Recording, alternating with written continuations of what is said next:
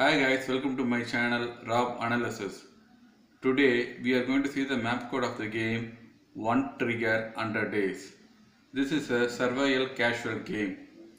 This is a 100 days survival game that starts with a trigger in the sky. This game was created by Horab Mubi.